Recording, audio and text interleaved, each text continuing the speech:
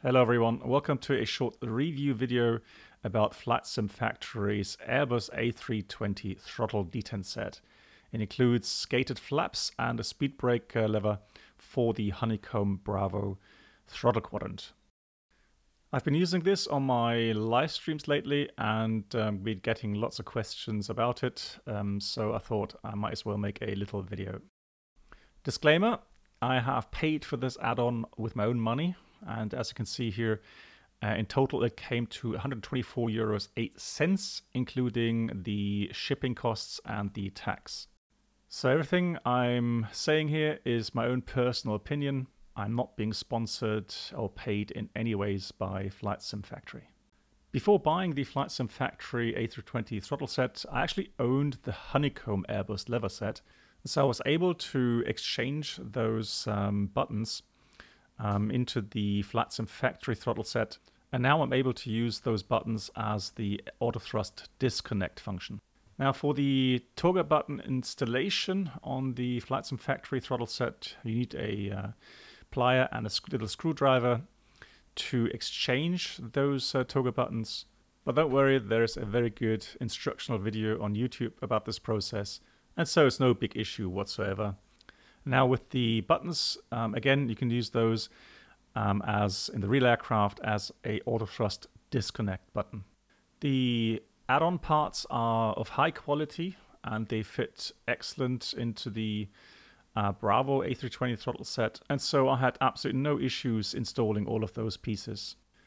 The flap and speed brake gates can easily be snapped into the honeycomb throttle quadrant and also been taken out uh, very easily. And so making it easy to exchange the levers in case you want to use a different aircraft add-on in your simulator. All the parts are very sturdy and so I have no worries about uh, breaking anything even after having exchanged those parts uh, many times by now, uh, because I do use different flight simulators.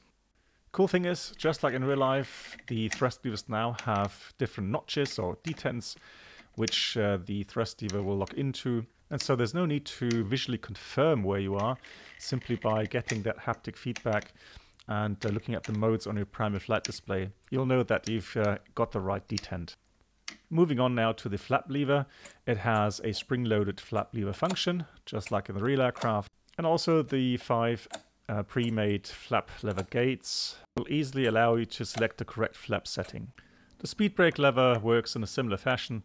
You have quarter, half, three quarters and full setting. And the thrust lever detents can be uh, calibrated in the Fenix MCDU menu. Same goes for the flaps lever and of course, there are many other add-ons like the fly-by-wire mod, the ToLiss A319, A321 and X-Plane 11, as well as the FS Labs NP3D. Of course, the physical reverse lever action also is simulated. That is also a very nice and a very immersive feature. To summarize, you get a A320 throttle set, including the throttle handles with the physical gate detents, you get the gated flaps lever with the spring-loaded mechanism, and it works with the gated shuttle. Also the speed brake lever with the shuttle itself. And if you already own the Honeycomb Bravo Airbus throttle set, you have the option to install the auto thrust disconnect buttons. So my personal honest opinion is that the pros are that levers and shuttles are very solid and of good quality. There is some assembly required, but easy to do. Uh, installing, deinstalling levers and shuttles is easy and fast, and so you can quickly exchange them with other levers when you change flight simulators. Uh, the bigger levers and spring-loaded flap lever allow for a better immersion into the flight sim. Also, the throttle, flap, and speed brake gates make it much easier to achieve the desired settings. Now, for the cons, there isn't much to really uh, complain about. Um, if you look very closely, um, you may see the signs of uh, 3D printing on the levers. However, for me personally, um, I don't really mind that at all. Like I said before, uh, there are good quality uh, levers, and so I don't see that as being a big issue.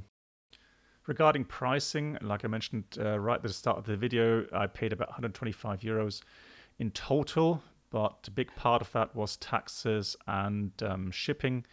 And so for the pure price of the levers, around about what 79 euros, I think that is pretty much a fair price.